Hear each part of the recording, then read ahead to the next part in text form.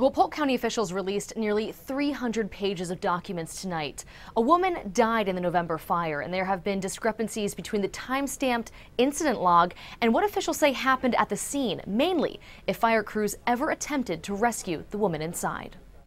I think my house is on fire and I'm here alone and I'm on a walker. Loretta Pickard's log house in Lakeland was filling with smoke. The 76 year old was scared. She was recovering from surgery and had trouble getting around. If it's safe to do so, leave the building, close the doors behind you, and remain outside. I'm not injured, but my eyes are full of smoke.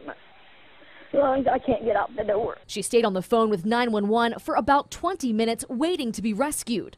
According to the investigative report from the incident, firefighters knew someone was possibly trapped inside the house. But the captain says he couldn't confirm that. There were no cars in the driveway, and he had no working computer in his fire truck. They know I'm in here, right?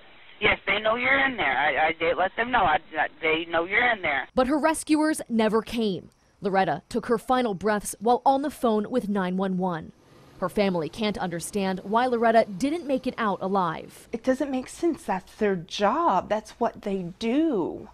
You don't have to be a firefighter. You choose to be a firefighter. County leaders say the home's wooded location made it tricky for fire crews. We're told the first firefighters on scene had to wait for another truck with water, and the spreading fire and downed power lines prevented them from getting inside. Obviously, they didn't go inside the house.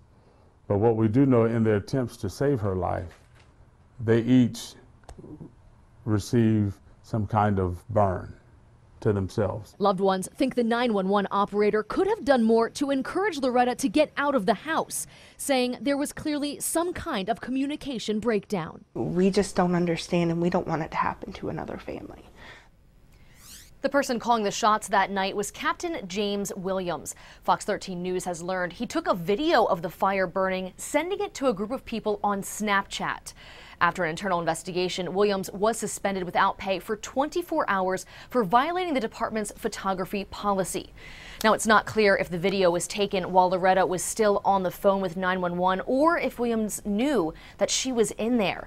Still, Loretta's loved ones think Williams deserves a more severe punishment, and we expect to get a chance to look at that video for the first time tomorrow.